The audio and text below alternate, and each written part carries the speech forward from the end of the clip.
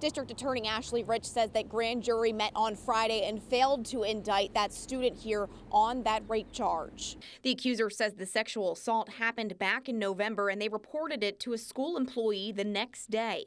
However, the accuser wrote a letter to students' parents saying the school didn't report it to police right away. In a letter released to us in late January, the school board says it reported the crime to police, but it never said when. The issue has prompted peaceful protests on campus from students. The case even had alumni speaking out, saying they're upset with the way the school handled the situation. News 5 reached out to the school's lawyer today and the accuser's lawyer.